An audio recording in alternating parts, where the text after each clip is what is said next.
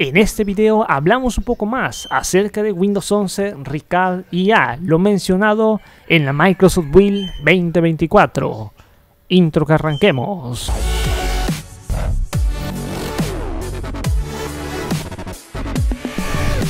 Tal, para cuando estoy lanzando ya este video, en el principal ya hay un resumen de todo lo anunciado en la Microsoft Build 2024 y entre ellas hay que destacar la nueva característica emblemática de Windows 11 que es Recall, sí, el recordar, que utiliza modelos de IA local para registrar todo lo que haces y verlo ahí en la pantalla. Microsoft anunció la función de Recall en un evento que comenzó ya el 20 de mayo y ya comienza a distribuirse con el nuevo Qualcomm Snapdragon X en la versión Elite Plus para el 18 de junio.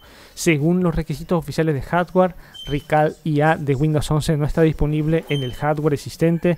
Vas a necesitar una PC Snapdragon X, ya que las PCs Intel y AMD no cumplen con los requisitos mínimos de 40 TOT. Estos son los billones de operaciones por segundo y debe de contar con NPU, un chip dedicado a mejorar el procesamiento de IA en el dispositivo. El NPU es un requisito por el cual Recall registra todo lo que haces y almacena las instantáneas locales y con Recall Microsoft dice que puede convertir sus acciones anteriores en instantes buscables, permitiéndote así buscar e interactuar con las acciones pasadas.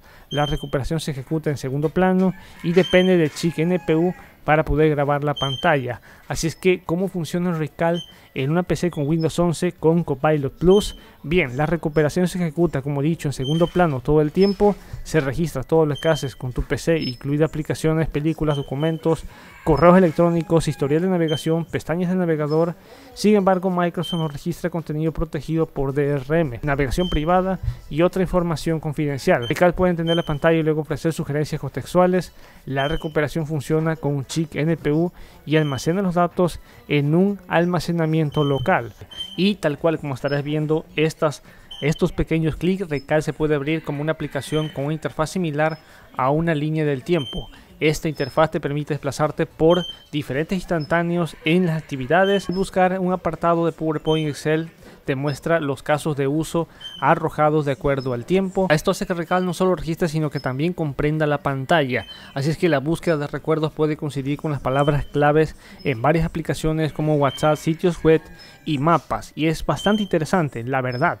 Pero algunos no podrán utilizar Recall porque como he dicho los requisitos son demasiado exigentes. Y a diferencia de la versión actual de Windows Sear, Recall funciona con Windows Semantic Index y utiliza los modelos de lenguaje pequeños multimodales, NPU potenciado con la experiencia, por lo que también marca una gran diferencia. Así es que es lo que se está descubriendo y esto va a llegar ya a nada en los nuevos dispositivos. Microsoft dice que puede abrir la página de privacidad y configuración y navegar hasta la configuración de Recal para ver de qué manera se están recopilando y almacenando todos los datos. Puedes borrar las instantáneas y reiniciar los Recal.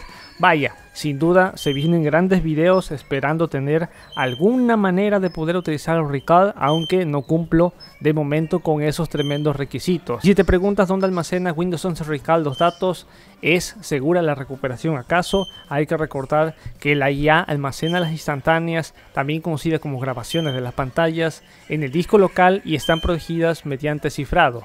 Si, si estás en Windows 11 Home, tus datos estarán protegidos y a la vez cifrados usado, usando el cifrado del dispositivo que ahora está activado en la versión 24H2. Como protege los datos capturados por IA en Windows 11, la recuperación se cifra mediante BitLocker, las instantáneas recuperadas se almacenan localmente, podrías eliminar y desactivar todo por completo. Microsoft no va a compartir los datos con otras personas que utilicen la misma PC y otras aplicaciones y servicios no pueden acceder a la recuperación. Así es que Recall IA es realmente interesante, pero está limitado a hardware de 40 NPU TOTS únicamente, es decir, las PCs Snapdragon X Elite y X Plus. Así es que es lo nuevo, lo más destacable, lo que se viene para el futuro de Windows 11 con la inteligencia artificial. Nos veremos hasta la próxima.